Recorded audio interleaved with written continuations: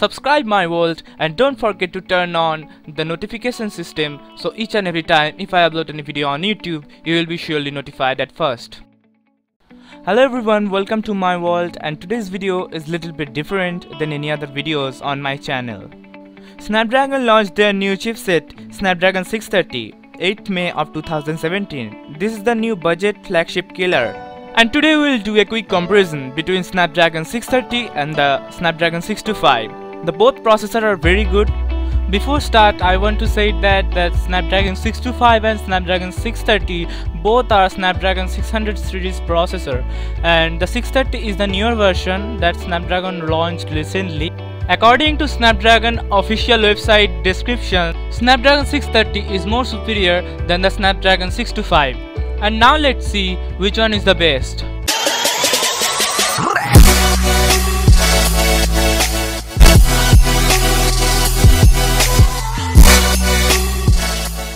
First of all, speed.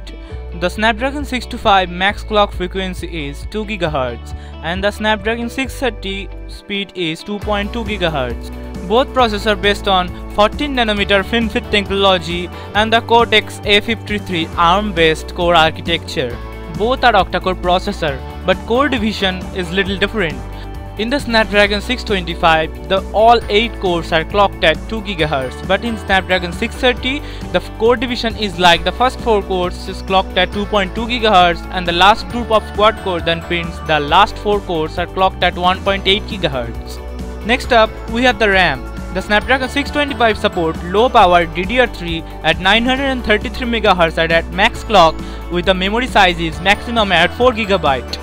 At the same side, the Snapdragon 630 supports the low power DDR4 1333 MHz RAM at the max storage of 8GB. That means Snapdragon 625 can support maximum up to 4GB of RAM memory which is based on DDR3 architecture at the same point, the Snapdragon 630 supports the 8GB in size DDR4 RAM memory, so pretty cool in Snapdragon 630. Next up, we have the GPU comparisons. The Snapdragon 625 supports the Adreno 506 GPU which is based on OpenGL 3.1 technology and the Snapdragon 630 supports the Adreno 508 GPU which is based on OpenGL 4.1 technology so you will be more satisfied with Snapdragon 630 in 3D gaming.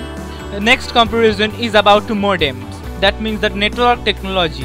Snapdragon 625 supports X9 modem that you can download up to 300 megabits per second and you can upload up to 150 megabits per second.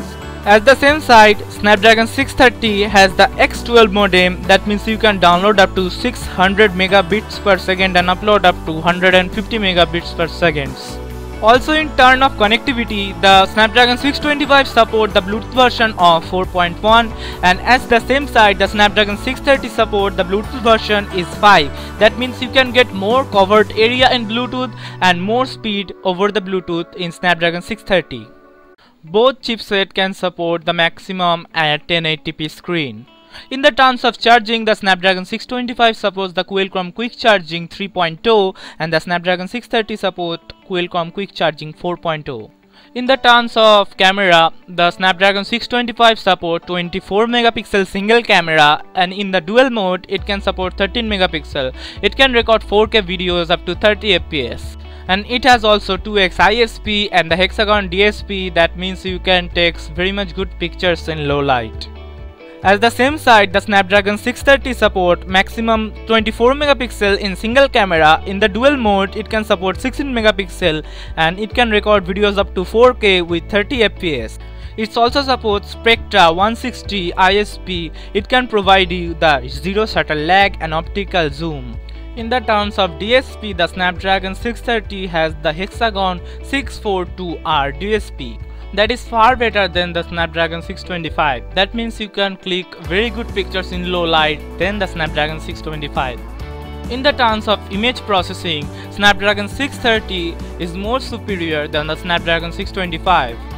And all over, Snapdragon 630 is more superior than the Snapdragon 625.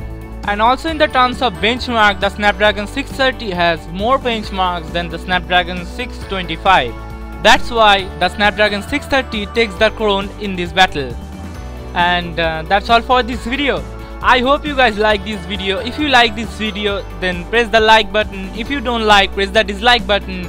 Give me your opinion about this video or what do you think which one is better and why. So yeah if you like this video then share it and don't forget to subscribe and don't forget to hit the bell button so each and every time if I upload any video on YouTube so you will be surely notified at first. So at last thanks for watching. I hope I will see you guys in my next video and have a great day